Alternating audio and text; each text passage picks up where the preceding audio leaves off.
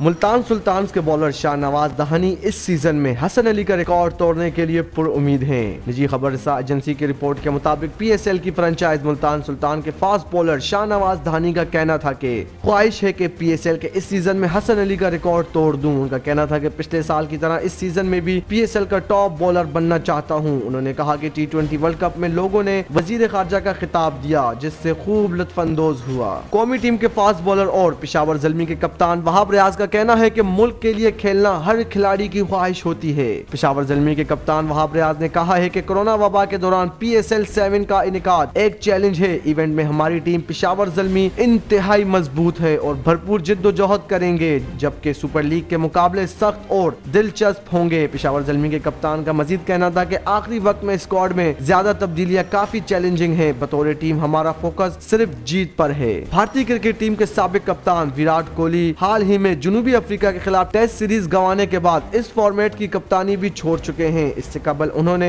सितंबर में T twenty team की कप्तानी भी छोड़ दी थी। इसके बाद भारतीय क्रिकेट बोर्ड ने जुनूबी अफ्रीका के दौरे पर रवाना होने से ठीक पहले उनसे वनडे की कप्तानी छीन ली थी और उनकी जगह रोहित शर्मा को यह ज़िम्मेदारी सौंपी गई थी। इसके पीछे बोर्ड ने दलील दी थी कि सेलेक्टर्स व्हाइट बॉल क्रिकेट में एक ही कप्तान चाहते हैं, इसलिए यह फैसला लिया गया। आईसीसी ने कौमी क्रिकेट टीम के विकेट कीपर बल्लेबाज मोहम्मद रिजवान को T cricket of the year करार दिया है, जिस पर चेयरमैन पीसीबी की जानब से बयान जारी किया गया है। इंटरनेशनल क्रिकेट काउंसिल ने कौमी टीम के ओपनिंग बल्लेबाज मोहम्मद रिजवान को गुजशत साल टी ट्वेंटी इंटरनेशनल में एक हज़ार तीन सौ छब्बीस रन बनाने पर साल का बेहतरीन क्रिकेटर का अवार्ड दिया है। पाकिस्तान क्रिकेट बोर्ड के चेयरमैन रमीज राजा ने समाजी रबते की वेबसाइट ट्विटर पर अपने खसूसी पैगाम में कौमी टेस्ट टीम के कप्तान मोहम्मद रिजवान को मुबारकबाद दी। रमीज राजा ने अपने ट्वीट में कहा कि मोहम्मद रिजवान आप इस कामयाबी के मुस्तक हैं। इंग्लैंड क्रिकेट टीम के कप्तान जॉय रूट ने ICC cricketer of the year का अवार्ड अपने नाम कर दिया। मुस्तकिल मिजाज और तासर परफॉर्मेंस की बुनियाद पर आईसीसी ने men's test cricketer of the year award England के जॉय रूट ने अपने नाम किया। साल 2021 में इंग्लैंड की टेस्ट क्रिकेट टीम की बैटिंग कारकर्दगी इंतहाई नाकिस रही। तहम जॉय रूट तन तनहा मुखालिफ बॉलर्स का मुकाबला मुस्तकिल मिजाजी से करते रहे।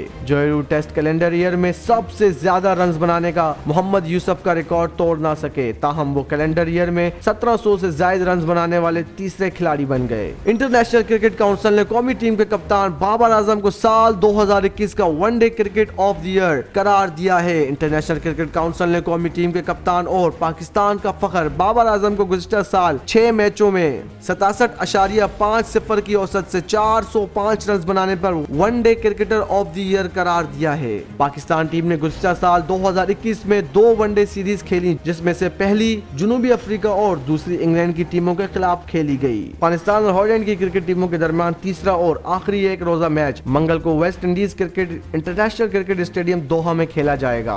West End Park international cricket stadium Doha में खेला जाएगा। अफ़गानिस्तान को तीन मैचों की सीरीज़ में नैदरलैंड के खिलाफ दो सिफर की फैसला कन बरतरी हासिल है। अफ़गानिस्तान की टीम ने पहले वनडे मैच में हॉलैंड को 36 रन से शिकस्त दी थी, जबकि दूसरे मैच में 48 रन से फतह हासिल करके सीरीज़ में दो सिफर की फैसला कन बरतरी हासिल कर ली। पीसीबी ने पीएसएल सेवन की प्लेइंग कंडीशन का ऐलान कर दिया। पाकिस्तान क्रिकेट बोर्ड ने सत्ताईस जनवरी से सत्ताईस फरवरी तक जारी रहने वाले H P L P S L दो हज़ार बाईस की प्लेइंग कंडीशन का ऐलान कर दिया है। लीग के सातवें एडिशन के लिए प्लेइंग कंडीशन में की गई तरमीम मंदरजा झेल है। किसी खिलाड़ी का कोरोना टेस्ट मुस्बत आने की सूरत में मस्कुरा टीम टेक्निकल कमेटी की इजाज़त से रिज़र्व पोल में मौजूद किसी भी खिलाड़ी को मुतबादल खिलाड़ी की हैसियत से अपने स्क्वाड में शामिल कर सकती है। नेशनल स्टेडियम में खेले जाने वाले पी एस एल के मैच के हवाले से सिक्योरिटी कोऑर्डिनेशन का इजलास मुनद हुआ है। नेशनल स्टेडियम कराची में खेले जाने वाले पी एस एल सेवन के मैच के हवाले से एस एस यू हेडक्वार्टर्स के कॉन्फ्रेंस हॉल में सिक्योरिटी कोऑर्डिनेशन का एक अहम इजलास मुनद हुआ। इस इजलास में इवेंट के आगाज़ से कबल सिक्योरिटी इंतज़ाम का जायजा लिया गया, जबकि इजलास की सदारत D I G security and emergency services division Maqsood Ahmed ने की।